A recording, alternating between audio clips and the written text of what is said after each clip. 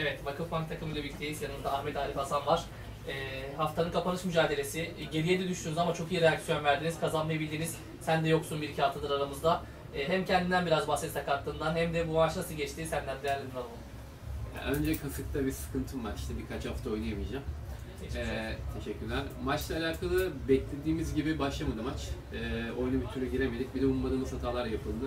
Sağda bayağı bir kaygan, onun da etkisi var ama e, sonradan çevirmesi Milli Huawei aslında çok da kötü bir takım. Yani bence e, maçı da alabilirlerdi. Maç öncesi öyle tahminlerim vardı ama bizim e, fizik gücümüz, takım olma bilincimiz falan daha yüksek. Çevirdiğimiz için e, mutluyum. İnşallah devamında liderlikle beraber bu taşımayı tamamlarız. İki sezondur kaybedilen bir şampiyonluk var. Ee, bu sene artık gelecek. Aynen yani iyi takımlara karşı kaybettik finalde. Gerçekten Kesinlikle. kaybettiğimiz takımlar gerçekten çok iyi takımlardı. E, inşallah bu sezon şampiyonluk istiyoruz. Bakalım nereye kadar gidecek onu bilmiyorum ama. Ee, bir de Bilal'i ara yaramamış galiba. Bugün bir nazar vardı. Yani asker, askerden döndü. Ee, bir de dediğim gibi biz bugün takım olarak en kötü oyunumuzu oynadık gerçekten. Bir de grubun en iyi takımına karşı, bizden sonraki en iyi takımına karşı oynadık.